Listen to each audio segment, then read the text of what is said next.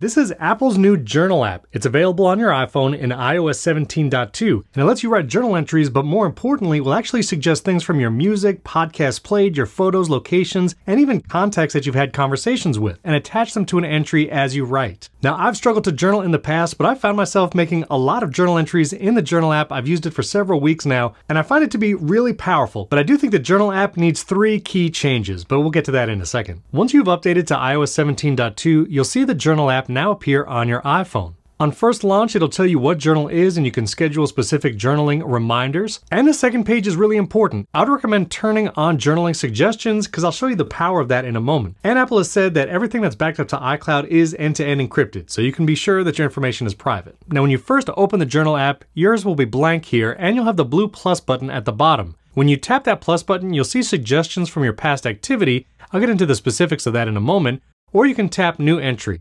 A new journal entry starts as blank. You can set it as today's date, or you can hit the three dots and choose a custom past date. You can also bookmark this entry if it's important, and you have these options down here, adding your location, you can add a voice memo, take a picture right here in the journal app, add images from your library, or you can see some more suggestions right here within an entry. Now what I find the most powerful is when you hit that plus button, you'll actually see recommendations from your location, contacts, images, and more. The recommended tab will pull just some highlights it's recommending, and it will show you prompts to get you writing that may not include photos, locations, or videos. But if you go to recent, this is where you see all the different activity from your iPhone.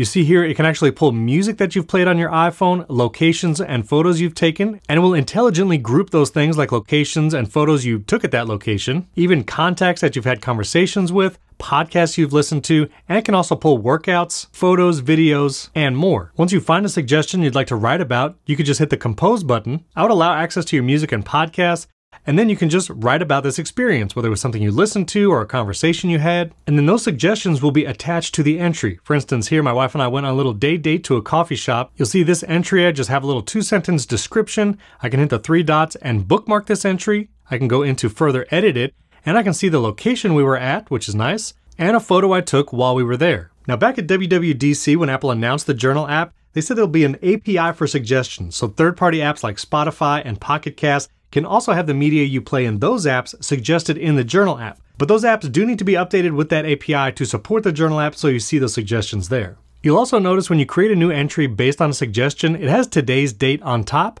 but if you hit the three dots, you can actually change it to the moment date or the date that you actually listen to this music. I typically like defaulting to the moment date, then it documents when I listened to this music or when I took this photo. Now there are a few settings for the journal app. If you jump into settings, then scroll down to journal, have all this toggled on so we can access the microphone, camera, and so forth. You can also choose to skip the journaling suggestions when you create a new entry.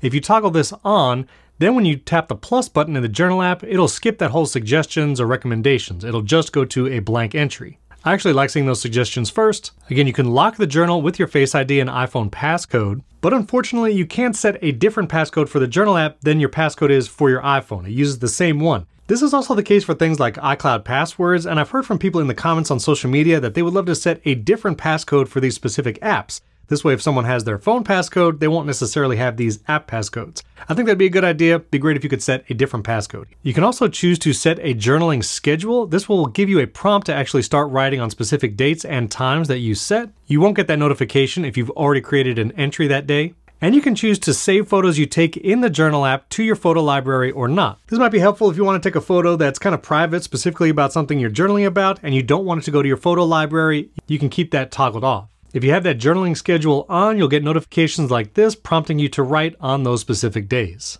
Before I get into my personal experience with the Journal app, there is no iPad or Mac app right now. Hopefully those come soon. And also the Journal app doesn't have access to the data on those other devices, even if they're signed into your iCloud account. So if you listen to music or podcasts on your iPad or your Mac, you won't see those suggestions in the Journal app on your iPhone. This is unfortunate, especially if you work on a Mac all day and that's where you listen to your podcasts. You won't see those on the iPhone all the suggestions you're going to get is strictly locked to this iPhone. Now, all that being said, I've loved the journal app. I've wanted to journal for a long time. I've struggled to actually sit down and write a bunch whenever I've wanted to journal. And I love that these prompts get me writing and I don't feel like I have to write a whole lot. Having context like this, whether it was a location we went to or pictures taken on a date and time, I don't feel like I have to write a bunch to explain what we were doing. In the future, this should trigger my memory enough to know what's going on, and I feel like I can just write one or two sentences and I've actually journaled something for the day, and I feel good about that.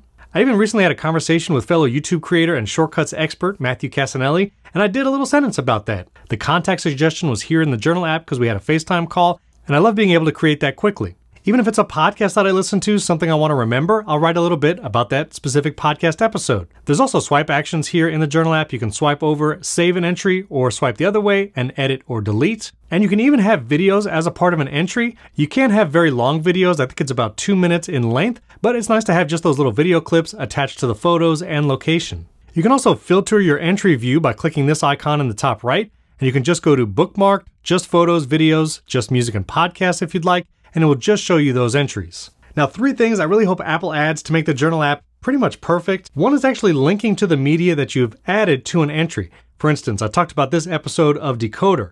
I can go to that entry, I can see the episode, the title, but there's no way to go to this episode, say in Apple Podcasts. I know it pulled the episode from me listening to it in the Apple Podcast app, but there's no way to jump to this episode and listen to it again. Technically, I could have copy and pasted the link to this episode in the entry that I wrote, but it's right here. I would love to just be able to tap it and just go to that location. Same thing with a maps location. Here I can see we went to a skate park, but I can't actually open this in Maps. I can edit it, I can change the title or the specific location for this entry, but there's no way to jump to the Apple Maps app with this location highlighted. There's also no way to jump to this photo in your photo library. Even a live photo can be viewed here, and like I said, videos are here as well.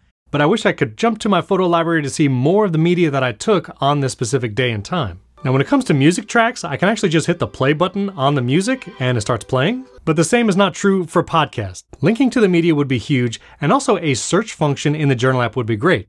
Filtering by content type is good, but if I want to find a specific entry, which I imagine I'll have hundreds after a couple years, there's no way to search the journal app, there's no spotlight here at the top. And if I search for like the title of an entry, let's say afternoon date, there's no search results for the journal app here in Spotlight either. So as you build your journal database, I hope they add a search function.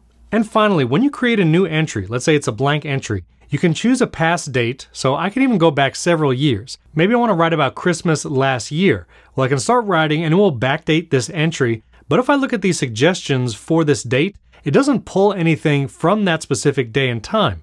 It only shows me the recent suggestions or the recommended moments that it showed me on the main page of the journal app. It knows what photos I took that day because all that data is in my photo library. And for some reason, Journal has private access to my photo library, but I can't give it full access. Maybe that's what it needs, but it doesn't give me any suggestions, music, photos, or anything from that specific date. Now, it will show me stuff from the past, like podcasts I listened to on Friday, but if I create a new entry on that date, it's not going to automatically populate this information.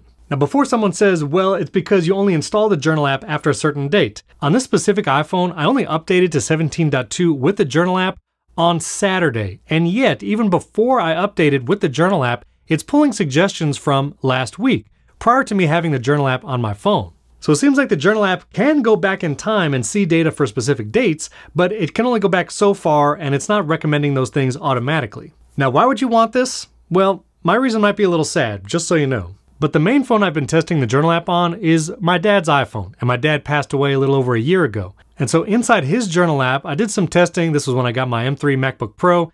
I would love to be able to create an entry on a past date and see some of the things he did that day. Maybe the music he listened to or the podcast he listened to. I still get some recommendations, and here are some photos from his photo library that I can create a post and it has the date and the time. But if I create a new entry where I know he has photos, like this was his birthday, we were all together as a family on this date, hitting the photo suggestion in the journal app doesn't show anything from that specific date. These are just recent photos. And the suggestions tab just shows me those same highlights from the main page. And even recent, it doesn't show me things from the specific date that I've chosen here. And I know the Journal app can do it because it'll pull music and podcast recommendations from a week before I install the Journal app on my iPhone so hopefully Apple can add that functionality, pull some of that historic data, even if it's just photos and videos. I think that would be a huge help when creating a new entry, but from the past. But overall, I really love the Journal app. Just being able to write a sentence or two with those suggestions already there, like photos, videos, and locations, is great. Or if you go on a big family trip or vacation, just being able to write a couple sentences each day, including photos you've taken as you've been traveling around, I think it's gonna be a great feature. So I recommend you try it. It's totally free. It's going to be a part of the iOS 17.2 update. It might be available right now as you watch this. And just look for the Journal app on your iPhone after you update. If you have any questions about the Journal app, drop a comment below this video, hit that like button before you go, and subscribe to the channel. Got some fun videos coming up before the end of the year, especially a full smart home tour. I've been reviewing all the smart locks. I have one more review coming, and then I can compare all the HomeKey enabled smart locks at once. If you want to check out some of my smart home videos, check out this playlist above. Or if you want to dive into some of the features on iOS 17, just to make sure you didn't miss anything, I have the top 17 hidden features in iOS 17. That video's right up here. Thanks for tuning in. I'll catch you next time.